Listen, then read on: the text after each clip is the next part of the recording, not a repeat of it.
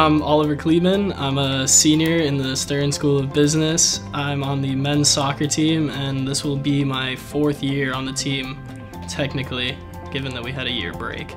I mean, easily my favorite part of being on the team is the camaraderie. I mean, especially as a freshman, as someone incoming, you're immediately plugged in with a great group of guys. People that know the school, know the area, know the system. Everyone's really welcoming. They, they let you into the team right away. They, you know, you're immediately included in almost every function that the team has. I mean, you know, if people are hanging out, they're going to get lunch, you're included. They, they introduce you to their friends you're um, just immediately within sort of a social scene, and especially as a freshman at a school in a big city where it can seem a bit nerve wracking, it's, it's great to have that sort of social trampoline to keep you bouncing along from from place to place. It's a I, I like it. I mean, I feel like if you're coming to New York City, you're a high energy person, uh, and it really it keeps you it keeps you moving. I'm at the Stern School of Business. I'm personally focusing in finance. It's highly competitive. I mean, it's a really good school for a reason. The faculty are across the board incredible. I mean, every every professor that I've had has been knowledgeable, excited. I think the intensity of the school, the competitive atmosphere around it is actually really helpful, especially for me as a person. Uh,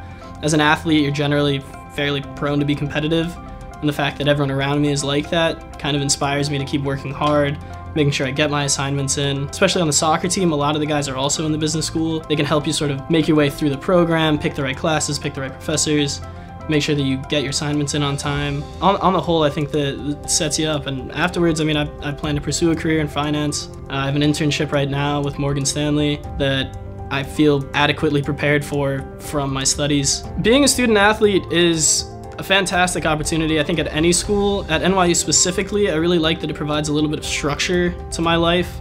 Uh, in a city like this, like New York, it can be really tough to sort of, you know, filter out all of the nonsense around you. I mean, when you're a student, you need to be able to focus on your classes. And in New York City, it could be a random Tuesday night and there's an insane concert. And it's like that every Tuesday night. And then on the Wednesday, there's there's some comedy show that's incredible. Having a little bit of a regimen in your life means that you can still take advantage of those opportunities, but you won't go overboard with it. It'll keep you fit, it'll keep you focused, it'll keep you happy. I mean, if you enjoy playing your sport, you get to do it all the time. Um, I think that that sort of added structure, it really makes the experience a little bit more enriching, I think.